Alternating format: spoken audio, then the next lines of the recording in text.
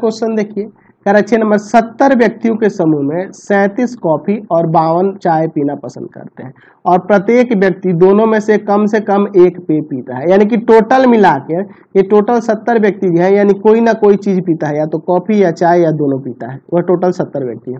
तो कितने व्यक्ति हैं जो कॉफ़ी और चाय दोनों को पसंद करते हैं? तो यहाँ मान लेते हैं, माना ए क्या है? ए जो है, आपके कॉफ़ी पीने वाले। ऐसे लिख लेंगे तो अच्छा रहेगा। कॉफ़ी पीने वाले, कॉफ़ी पीने वाले, कॉफ़ी पीने वाले व्यक्तियों का समुच्चय व्यक्तियों का समुच्चय व्यक्तियों का समुच्चय। ठीक है? चलिए, और बी क्या है? हम लोग मान लेते हैं यह चाय पीने वाले हैं। चाय पीने वाले या चाय पसंद करने वाले, चाय पीने वाले व्यक्तियों का व्यक्तियों का समुच्चय ठीक है? जिनको चाय पसंद है, वो है।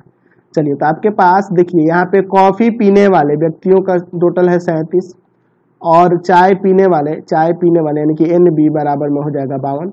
और कम से कम एक पे कोई पीता है, यानी कि टोटल मिलाकर, यानी कि ए यूनियन बी या तो दोनों पीने वाले या दोनों में से कोई एक भी पीने वाले, वो टोटल कितने हैं? सत्तर व्यक्ति हैं।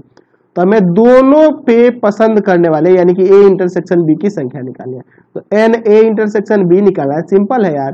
यहाँ एन ए प्लस में N B minus N A union B चलिए तो इसको सॉल्व कर देते हैं। यह है सैंतीस, यह है बावन और माइनस में सत्तर। इन दोनों को जोड़ोगे तो यहाँ पे सात दो नौ और पाँच तीन आठ, नवासी माइनस सत्तर। घटा देंगे, यहाँ पे उन्नीस व्यक्ति ऐसे हैं जो दोनों पे पसंद करते हैं। चलिए अगला